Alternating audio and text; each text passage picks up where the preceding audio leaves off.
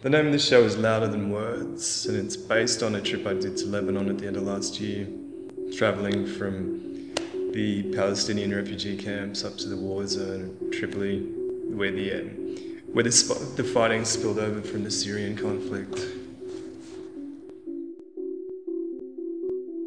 I guess it, what took me there was just the need to get out of my comfort zone and create something confronting, I guess. I didn't want to just capture guys with guns. I wanted to get all facets of the situation there from from the insurgents to the army to the refugees to the civilians to the media. I just wanted to get a broader scope of what was happening. Initially, I wanted to go to Syria, but I couldn't find anyone stupid enough to take me up there.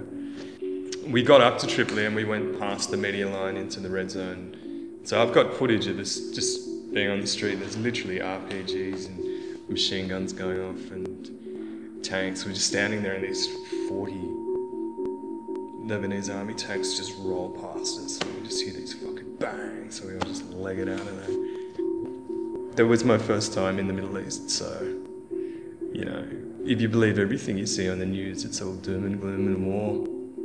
But getting there was just such a culture shock. It was just so surprising that everybody I met there, from every different sect or religion, was just really warm and inviting.